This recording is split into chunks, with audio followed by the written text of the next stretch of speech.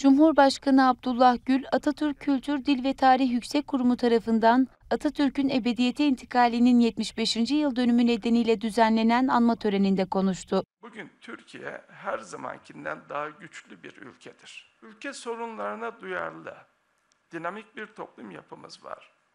Toplum ve siyaset artık ortak bir dili konuşuyor. Korkular ve vehimlerin ne kadar yersiz olduğu görülmekte. Zamanında Türkiye'nin gelişmesinin önünde tehlike gibi görülen sorunlar artık mutabakatla çözülebiliyor. Şüphesiz bu güven ortamı parlak yarınlara doğru ilerlerken ülkemize ve milletimize güç veriyor. Mustafa Kemal Atatürk ölümünün 75. yıl dönümünde Selanik'te doğduğu evde düzenlenen törenle anıldı. İstanbul'dan kalkan barış treniyle Selanik'e giden yüzlerce kişi Atatürk'ü gözyaşlarıyla andı.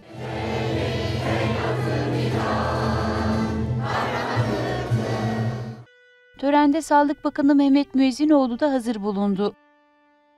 Atatürk'ün silikondan yapılan heykelinin bulunduğu odada konuşan Müezzinoğlu, Gazi Mustafa Kemal Atatürk'ün milli mücadele anlayışı sadece Türk milletine değil, esaretten kurtuluş ve barış içinde bir dünya hayal eden tüm insanlığa rehber olmuş, örnek olmuştur dedi. İnanıyorum ki o büyük Türk milleti kendisinin milletimize vasiyet olarak söylediği muasır medeniyet seviyesinin üzerindeki yolculuğa onu daha iyi anlayarak onun o mücadeleci ruhunu milletle gönül gönüle omuz omuza yaptığı o mücadeleyi bundan sonra da biz de milletimizle birlik içinde, beraberlik içinde e, büyük millet olmanın, güçlü ol- millet olmanın idealiyle onun bize vasiyet ettiği muasır medeniyet seviyesinin üzerindeki bir büyük Türk milleti ve güçlü Türkiye Cumhuriyeti Devleti'ni e, oluşturma gayreti içinde olacağız.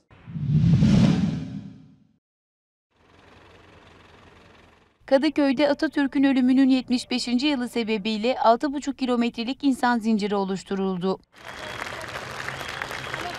Caddebostan sahiline akın eden binlerce kişi sirenlerin çalmasıyla birlikte saygı duruşunda bulundu, ardından hep birazdan İstiklal ve 10. yıl marşlarını okudu. Yaklaşık 10 bin kişinin katıldığı saygı zinciri Kartal'a kadar ulaştı. Renkli görüntülere sahne olan etkinlik havadan da görüntülendi. Kürekçiler katılımcılara destek verirken, güneşli havada denize girerek Atatürk posteri açan bir vatandaşsa büyük alkış aldı.